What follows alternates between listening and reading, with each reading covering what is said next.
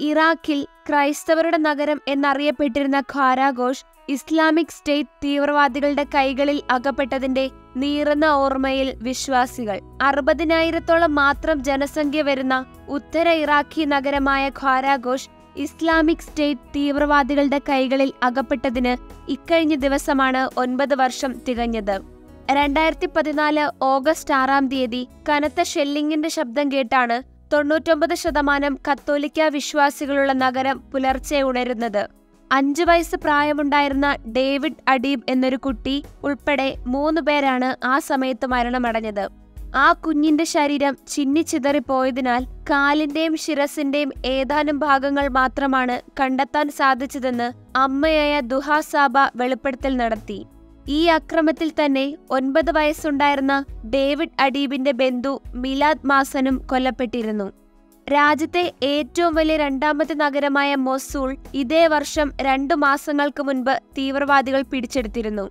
നഗരത്തിൽ തീവ്രവാദികൾ കടന്നു കയറിയതിന് പിന്നാലെ ആളുകൾ അവിടെ നിന്ന് രക്ഷപ്പെടാനുള്ള തന്ത്രപ്പാടിലായിരുന്നു.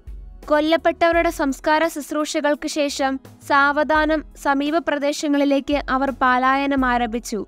മൊസൂളിൽ തീവ്രവാദികളിൽ നിന്നും രക്ഷ നേടി ക്വാരാഘോഷിലെത്തിയവർ തീവ്രവാദികളുടെ ക്രൂരതകൾ വെളിപ്പെടുത്തിയതിന് ക്വാരാഘോഷിലെ ആളുകളെ വലിയ തോതിൽ ഭയപ്പെടുത്തിയിരുന്നു. ഇർബീലിലേക്കുള്ള പാതയിൽ ആളുകൾ കൂടി നിന്നിരുന്നതിനാൽ അറുപതിനായിരത്തോളം വരുന്ന നഗരത്തിലെ ആളുകൾക്ക് വാഹനത്തിൽ യാത്ര ചെയ്യുക എന്നത് അപ്രാപ്യമായി മാറി. പ്രായമായവർ ഉൾപ്പെടെ വളരെ കുറച്ചുപേർ മാത്രമാണ് ശേഷം നഗരത്തിൽ അവശേഷിച്ചത്. ഇർബീലിലേക്കുള്ള യാത്രക്കിടയിൽ ഉടനീളം തന്റെ കണ്ണിൽ നിന്നും കണ്ണുനീർ തുള്ളികൾ ഇറ്റി വീഴുന്നുണ്ടായിരുന്നുവെന്ന് ദുഹാസാബ പറഞ്ഞു. തന്റെ മകന്റെ ശവകുടീരം തീവ്രവാദികൾ നശിപ്പിക്കുമോ എന്നുള്ള പേടിയും അവർക്കുണ്ടായിരുന്നു. മറ്റൊരു സ്ഥലത്ത് മാറി താമസിച്ച ആ ദിവസങ്ങളും വളരെയധികം ക്ലേശം നിറഞ്ഞതായിരുന്നുവെന്ന് ദുഹാസാബ ഓർത്തെടുത്തു.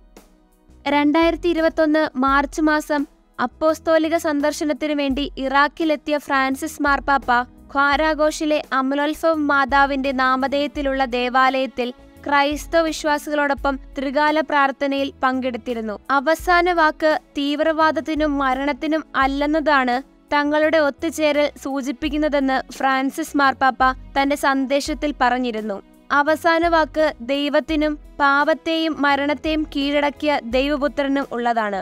തന്റെ കഥ ഫ്രാൻസിസ് മാർപ്പാപ്പയുടെ മുന്നിൽ പങ്കുവയ്ക്കാൻ ദുഹാസഭയ്ക്ക് അവസരം ലഭിച്ചിരുന്നു. തന്റെ കുട്ടിയുടെയും ബന്ധുവിന്റെ വിവാഹത്തിനു വേണ്ടി തയ്യാറായിക്കൊണ്ടിരുന്ന അവരുടെ അയൽവക്കത്ത് ജീവിച്ചിരുന്ന ആളുകളുടെയും കൊലപാതകങ്ങളെപ്പറ്റി ദുഹാസഭ പറഞ്ഞു. ഈ മൂന്ന് മാലാഖമാരുടെ മരണം തങ്ങൾക്ക് ഒരു വ്യക്തമായ സൂചനയായിരുന്നു. ഇല്ലായിരുന്നെങ്കിൽ ആളുകൾ നഗരത്തിൽ തുടരുകയും ഇസ്ലാമിക് സ്റ്റേറ്റ് തീവ്രവാദികളുടെ കൈകളിൽ പെടുകയും ചെയ്യുമായിരുന്നു. തങ്ങളുടെ പ്രത്യാശ ഉയർപ്പിലുള്ള വിശ്വാസത്തിൽ നിന്നാണ് വരുന്നതെന്ന് അവർ പാപ്പയോട് വ്യക്തമാക്കി.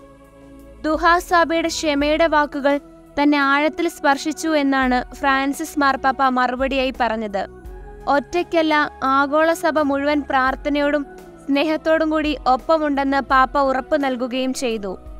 ഇസ്ലാമിക് സ്റ്റേറ്റ്സിന്റെ പതനത്തിന് ശേഷം ഇന്ന് തിരിച്ചുവരവിന്റെ പാതയിലാണെങ്കിലും ഖ്വാരാഘോഷിലെ ക്രൈസ്തവർ പരിമിതമാണ്. എന്നാൽ സഹനങ്ങളും പ്രതിസന്ധികളും ഒത്തിരിയേറെ ഉണ്ടെങ്കിലും ക്രിസ്തുവിശ്വാസം മുറുകെ പിടിച്ച് മുന്നോട്ടു പോകുകയാണ് ഇവിടുത്തെ പ്രാദേശിക ക്രൈസ്തവർ.